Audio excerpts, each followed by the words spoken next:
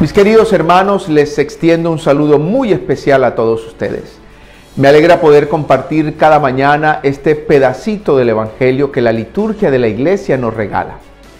Hoy retomamos el capítulo octavo del Evangelio de San Mateo, después de la solemnidad de ayer 29 de junio de los santos apóstoles Pedro y Pablo.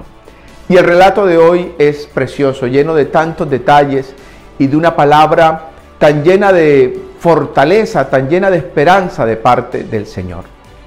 Nos dice el relato bíblico que Jesús subió a la barca con sus discípulos y en medio de la travesía se desató una tormenta.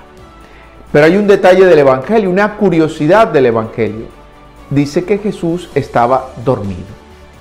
Y entonces se le acercan los discípulos desesperados donde el Señor, incluso dice el relato, gritándole, Señor, sálvanos que nos hundimos.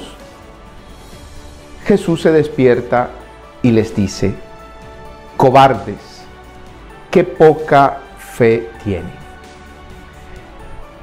A mí me parece que esta palabra mm, viene como anillo al dedo en este tiempo que estamos viviendo. Y a propósito de ese detalle, el hecho de que Jesús esté en la barca y esté dormido, a veces nosotros también pudiésemos tener esa sensación. ¿Dónde estás, Señor? ¿Qué te has hecho? ¿Por qué estamos viviendo estas circunstancias tan difíciles, tan dolorosas para muchos? Es que te has quedado dormido y ya no estás pendiente de nosotros. Pero se nos olvida un detalle precioso del Evangelio. El hecho de que el Señor esté en la barca y vaya descansando, esté durmiendo, no significa que no esté presente.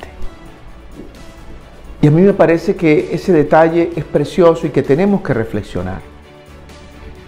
Ni el Señor se ha apartado de nosotros, ni el Señor se ha ido, está, va en esta misma barca con nosotros y nos invita a una a un corazón lleno de fe, a un corazón inflamado de fe.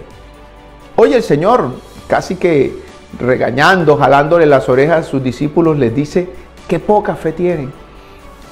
Pues hoy digámosle al Señor, aquí estamos, tú nos conoces, tú sabes lo que tenemos en el corazón y lo que estamos viviendo, Señor. Aumentanos la fe, inflama nuestro corazón de fe y esperanza, porque tenemos la certeza de que en esta barca, aún en medio de la tormenta que estamos viviendo, tú estás y estás presente. Mis queridos hermanos, un estupendo día ya, el último día del mes de junio. Que el Señor nos bendiga, nos acompañe y nos sostenga siempre.